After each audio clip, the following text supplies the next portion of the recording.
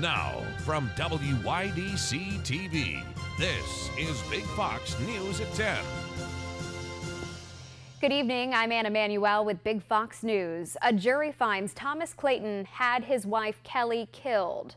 The Steuben County jury found him guilty this morning after they spent weeks hearing testimony in the murder for hire case. Big Fox reporter Andrea Lopez has been covering this trial all along. She brings us reaction.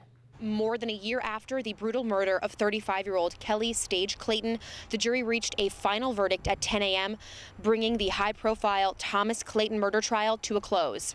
On trial for hiring to have his wife murdered, defendant Thomas Clayton was found guilty on both first and second degree murder charges. Tensions were extremely high today for both families just moments before the verdict was announced. This is an emotional experience for close friends and relatives of Kelly and defendant Tom Clayton.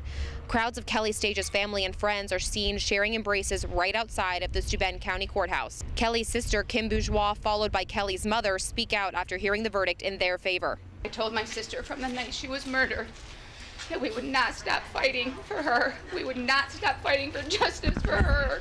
She was beautiful, bright, and she is still bright. The sun is out right now.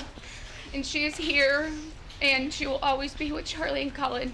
We have a strong family, and it has shown through in the community. Like she said, it's been so behind Unbelievable. us. Everything. Thank you. Much effort was put forth from the prosecutor Wetmore and his team of lawyers, investigators, and other assistants.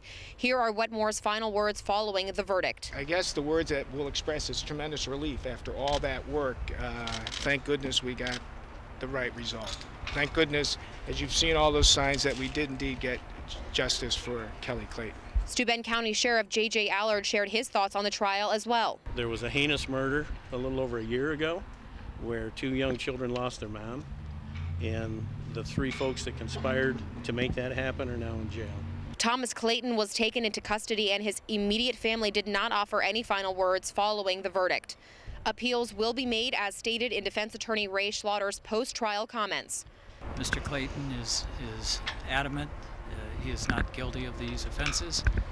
He did not kill his wife. He didn't hire anybody to kill his wife. He's taken a polygraph. He's passed the polygraph.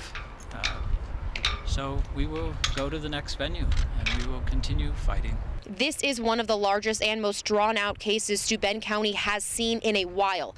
All three suspects involved in the murder, Michael Beard, Mark Blanford, and now Thomas Clayton, face time behind bars.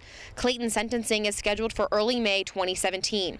Just shy of seven weeks of trial, over 400 pieces of evidence, and only six hours of deliberation, the Thomas Clayton murder trial closes today, February 23, 2017. Reporting on the last day of the Thomas Clayton murder trial from the Steuben County Court in Bath, I'm Andrea Lopez with Big Fox News.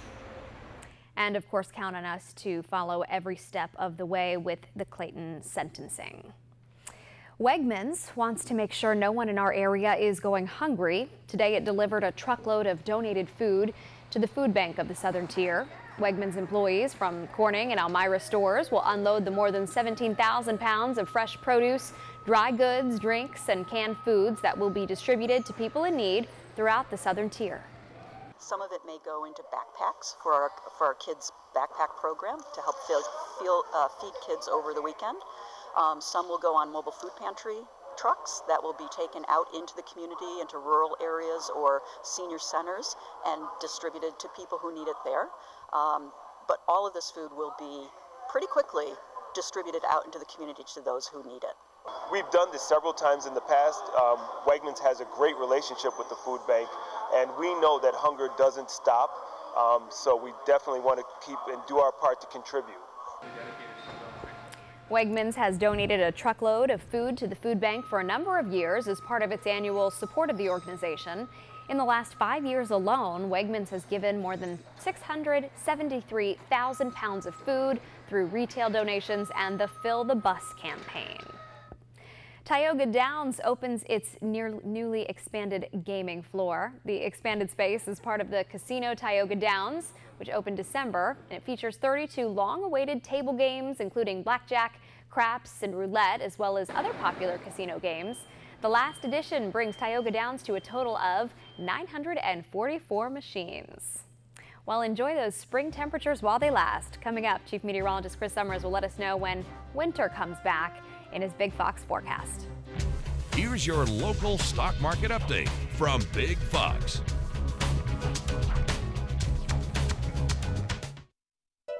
Now, your Twin Tiers forecast from Big Fox. And welcome back, everyone. Record breaking temperatures across our area today. Temperatures into the mid to upper 60s here. Late this afternoon, as warm as 68 degrees in Elmira, 65 degrees a high in Corning, 64 degrees in Mansfield, 66 in Watkins Glen, and 66 degrees also the high in Ithaca. A little fog developing overnight tonight. May see a few showers out there too very late tonight. That could last into early tomorrow too, seeing at least some chance of a few scattered showers in our forecast. Temperatures into the 60s. We'll go for highs once again in the mid to upper 60s by the afternoon. So patchy fog around to start the day, otherwise scattered showers in the forecast. Still pretty warm, windy and warm as we get into the weekend and more chances of scattered showers for your Saturday.